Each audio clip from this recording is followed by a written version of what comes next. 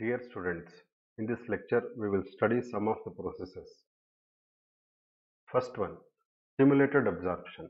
Consider two energy levels of an atom E1 and E2 such that energy difference between E1 and E2 is equal to h nu and observe that there is one atom in the ground state that is in E1 state.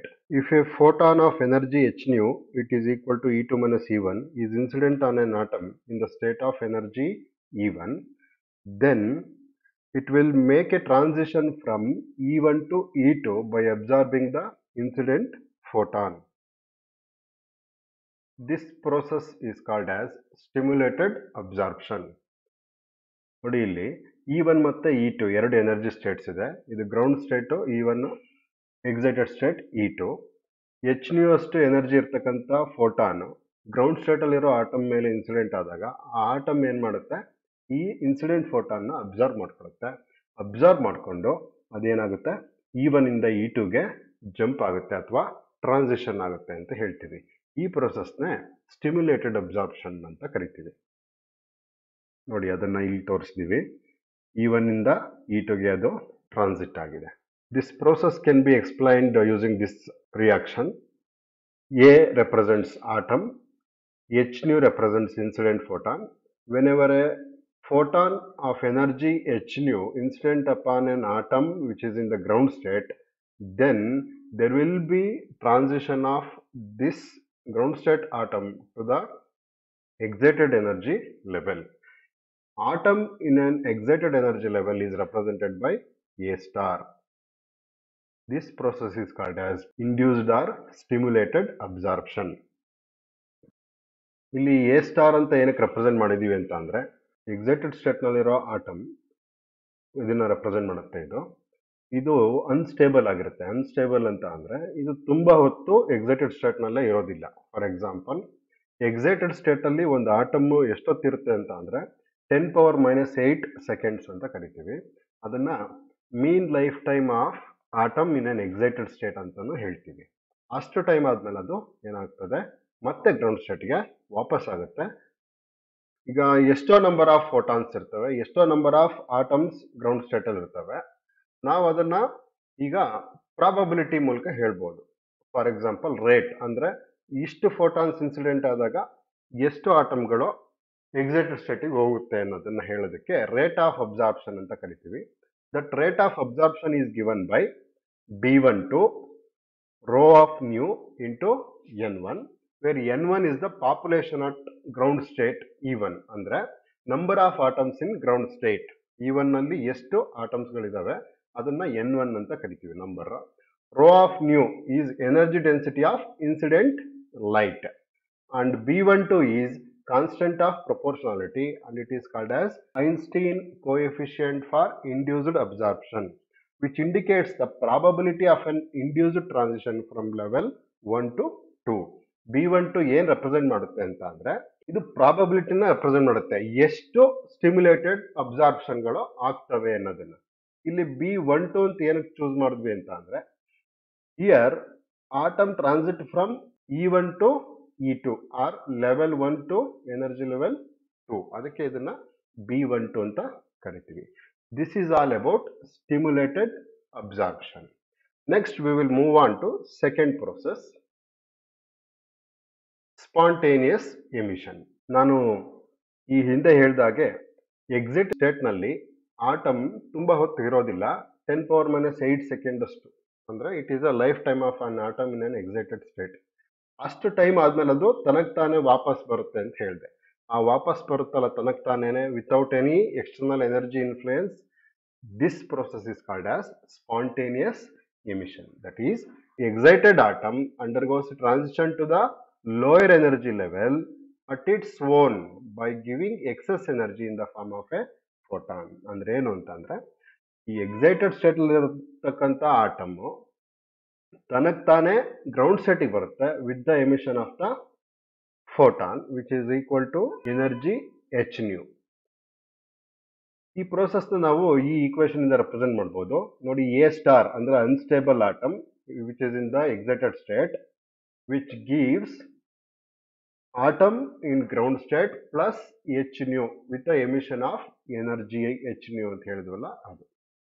Rate of spontaneous transition is equal to A two one into N two two rate of spontaneous transition ಏನು ಹೇಳುತ್ತೆ? It tells us that probability of a spontaneous transition from level two to level one ಅಂದರೆ ಎಷ್ಟು number of ಆಟಮ್ಸ್ಗಳು excited ಸ್ಟೇಟಲ್ಲಿ ಇರುತ್ತೆ? ಅದರಲ್ಲಿ ಎಷ್ಟು ಆಟಮ್ಸ್ಗಳು D excite ಆಗುತ್ತೆ? ಅಥವಾ ಅದು ಗ್ರೌಂಡ್ ಸ್ಟೇಟಿಗೆ ಬರುತ್ತೆ with the emission of photon ಅದನ್ನ ನಾವು ರೇಟ್ ಆಫ್ ಸ್ಪಾಂಟೇನಿಯಸ್ ಟ್ರಾನ್ಸಿಷನ್ ಅಂತ ಕರಿತೀವಿ. Here that rate of spontaneous equal to A two one into N two where N two is the number of atoms in excited state excited state ಅಲ್ಲಿ ಎಷ್ಟು ಆಟಮ್ಗಳಿದಾವೆ ಅನ್ನೋದನ್ನೇ ನಾವು N to ಅಂತ ಕರಿತೀವಿ. Population of excited state ಅಂತ ಕರಿತೀವಿ ಅದನ್ನ. A two one ಅಂತ ಅಂದ್ರೆ it is a Einstein coefficient for spontaneous emission and is a function of frequency and it is a property of a material. A two one ಅಂತ ಇಲ್ಲಿ ಯಾಕೆ represent ಮಾಡಿದ್ವಿ ಅಂತ ಅಂದ್ರೆ here atom means transiting from level two to level one ಅದಕ್ಕೆ ಇದನ್ನ two one ಅಂತ ಕರೆದ್ವಿ. ಒನ್ ಟು ಅಂತ ಕರೀಲಿಲ್ಲ. And A two one is given by one by tau S P where tau S P is the lifetime of spontaneous emission ನಾನು ಆಗಲೇ ಏನು ಹೇಳಿದೆ? Ten power minus eight second ಅದಕ್ಕೆ inversely proportional ಆಗಿರುತ್ತೆ A two one ಇವಾಗ ನಾವು ಎರಡು ಪ್ರೊಸೆಸ್ನ ಓದ್ಕೊಂಡ್ವಿ. ಇನ್ನು ಕೊನೆ ಒಂದು ಪ್ರೋಸೆಸ್ ಇದೆ, ಲಾಸ್ಟ್ ಒನ್, ಅದನ್ನ ಓದೋಣ ಈಗ. Stimulated emission. ಈಗ ನಾನು ನಿಮಗೆ ಸ್ಪಾಂಟೇನಿಯಸ್ ಎಮಿಷನ್ ಅಂತ ಹೇಳಿದೆ. ಸ್ಟಿಮ್ಯುಲೇಟೆಡ್ ಎಮಿಷನ್ ಅಂದ್ರೆ ಏನಾಗಾದ್ರೆ, ಎಕ್ಸೈಟೆಡ್ ಸ್ಟೇಟ್ ಅಲ್ಲಿ ten power minus eight second ಅಷ್ಟು ಟೈಮ್ ತನಕ, ಅಥವಾ ಅದರ ಲೈಫ್ ಟೈಮ್ ತನಕ ಎಕ್ಸೈಟೆಡ್ ಸ್ಟೇಟ್ನಲ್ಲಿ ಆಟಮ್ ಇರ್ತದೆ. ಅಷ್ಟು ಟೈಮ್ ಆದ್ಮೇಲೆ ಏನಾಗ್ತದೆ? ತನಗ್ ತಾನೇ ಬರುತ್ತೆ. ಅದನ್ನ ನಾವೇನಂತ ಕರೆದ್ವಿ? ಸ್ಪಾಂಟೇನಿಯಸ್ ಎಮಿಷನ್ ಅಂತ ಕರೆದ್ವಿ. ಆ ಟೆನ್ ಪವರ್ ಮೈನಸ್ ಏಯ್ಟ್ ಸೆಕೆಂಡ್ಸ್ಗಿಂತ ಮುಂಚೆನೆ ನಮಗೇನಾದ್ರೂ ಆಟಮ್ಮು ಗ್ರೌಂಡ್ ಸ್ಟೇಟಿಗೆ ಬರಬೇಕು ಅಂತ ಅಂದ್ರೆ ನಾವೇನ್ ಮಾಡ್ತೀವಿ? ಅದಕ್ಕೆ ಎಕ್ಸ್ಟರ್ನಲ್ ಎನರ್ಜಿ ಸಪ್ಲೈ ಮಾಡ್ತೀವಿ in the form of light ಹಂಗಾದ್ರೆ ಸ್ಟಿಮ್ಯುಲೇಟೆಡ್ ಎಮಿಷನ್ ಅಂದ್ರೇನು? The process of emission of photons by an excited atom through a forced transition occurring under the influence of an external agent is called induced or stimulated emission ಅಂತ ಕರಿತೀವಿ. ಏನಂಗಂದ್ರೆ, ಈ excited ಸ್ಟೇಟಲ್ಲಿ ಇರ್ತಕ್ಕಂಥ atom ಮೇಲೆನೆ ನಾವು ಲೈಟ್ನ incident ಆಗೋಂಗೆ ಮಾಡ್ತೀವಿ. Excited ಸ್ಟೇಟಲ್ಲಿ ಇರೋ atom ಏನು ಮಾಡುತ್ತೆ? ಆ ಲೈಟ್ನ ಅಬ್ಸರ್ವ್ ಮಾಡ್ಕೊಳ್ಳುತ್ತೆ. ಲೈಟ್ನ ಅಬ್ಸರ್ವ್ ಮಾಡ್ಕೊಂಡ್ಮೇಲೆ ಅದೇನಾಗುತ್ತೆ? ಎಕ್ಸೈಟೆಡ್ ಸ್ಟೇಟಿಂದ ಗ್ರೌಂಡ್ ಸ್ಟೇಟಿಗೆ ಬರುತ್ತೆ with the emission of two photons coherent with each other ಅಂದ್ರೆ ಏನು? ನಾವು ಫಸ್ಟ್ ನೋಡಿ ಸ್ಟಿಮ್ಯುಲೇಟೆಡ್ ಎಮಿಷನ್ನಲ್ಲಿ ಆಟಮ್ ಗ್ರೌಂಡ್ ಸ್ಟೇಟ್ ಅಲ್ಲಿ ಇತ್ತು. ಅದು ಎಕ್ಸೈಟೆಡ್ ಸ್ಟೇಟ್ಗೆ ಹೋಯ್ತು with the absorption of energy h nu ಅಂದ್ರೆ ಇಷ್ಟು ಎನರ್ಜಿ ಇದೆ ಆಲ್ರೆಡಿ ಎಚ್ ನ್ಯೂ ಅಷ್ಟು ಎನರ್ಜಿ ಆಲ್ರೆಡಿ ಎಕ್ಸೈಟೆಡ್ ಸ್ಟೇಟ್ ಅಲ್ಲಿ ಇರ್ತಕ್ಕಂಥ ಆಟಮ್ಗೆ ಇದೆ. ಮತ್ತೆ ನಾವೇನ್ ಮಾಡ್ತಾ ಇದೀವಿ ಈಗ ಸ್ಟಿಮ್ಯುಲೇಟೆಡ್ ಎಮಿಷನ್ನಲ್ಲಿ ಲೈಟ್ ಇನ್ಸಿಡೆಂಟ್ ಮಾಡ್ತಾ ಇದೀವಿ. ಈ ಆಟಮ್ ಮೇಲೆನೆ. ಆವಾಗ h nu plus h nu two h nu ಆಯಿತು. ಅದೇನಾಗುತ್ತೆ ಆಗ? ಮತ್ತೆ ಗ್ರೌಂಡ್ ಸ್ಟೇಟಿಗೆ ಬರಬೇಕಾದ್ರೆ ಆ ಎರಡು ಎಚ್ ನ್ಯೂ ಫೋಟಾನ್ಸ್ಗಳನ್ನ ಮಾಡುತ್ತೆ ಅದು? ಎಮಿಟ್ ಮಾಡುತ್ತೆ. ಮತ್ತು ಅದು ಡಿ ಎಕ್ಸೈಟ್ ಆಗುತ್ತೆ. ಈ ಪ್ರೊಸೆಸ್ ಸ್ಟಿಮ್ಯುಲೇಟೆಡ್ ಎಮಿಷನ್ ಅಂತ ಕರಿತೀವಿ. This stimulated emission can be expressed in the the in the form A star plus h nu is equal to A a plus 2h nu ಅಂದ್ರೆ a star represents atom in an excited state it will absorb the incident photon h nu then it will come to ground state which becomes a with the emission of two photons 2 h nu ಅರ್ಥ ಆಯ್ತಲ್ವಾ A star ಅನ್ನೋ atom absorb ಮಾಡ್ಕೊಳ್ಳುತ್ತೆ external ಎನರ್ಜಿನ ಅದೇನಾಗುತ್ತೆ ಅಂದ್ರೆ D excite ಆಗುತ್ತೆ ಅಂದರೆ A atom ಆಗ್ತದೆ, ಅಂದರೆ ಗ್ರೌಂಡ್ ಸ್ಟೇಟಲ್ಲಿ ಇರೋ ಆಟಮ್ ಆಗುತ್ತೆ with the emission of two photons which are coherent with each other ಈ ಪ್ರೋಸೆಸ್ನ ಯೂಶಲಿ ಲೇಸರ್ ಅಪ್ಲಿಕೇಶನ್ಸಲ್ಲಿ ಬಳಸ್ತಾರೆ. ನಾವು we will look at rate of stimulated emission rate of stimulated emission is equal to B two one rho of nu into N two that means it depends upon energy density of the incident photon in an excited state.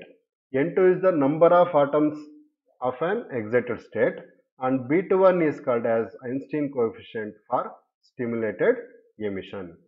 2-1 represent ಏನ್ ಮಾಡುತ್ತೆ ಅಂತ ಆಗ್ಲೆಲ್ಲ ಹೇಳಿದ್ದೀನಿ ನಾನು ಅಂದ್ರೆ energy level two ಇಂದ energy level ಒನ್ಗೆ transition ಆಗೋದಕ್ಕೆ ಅಲ್ಲಿ ಟೂ ಒನ್ ಅಂತ ಕರಿತೀವಿ ನಾವು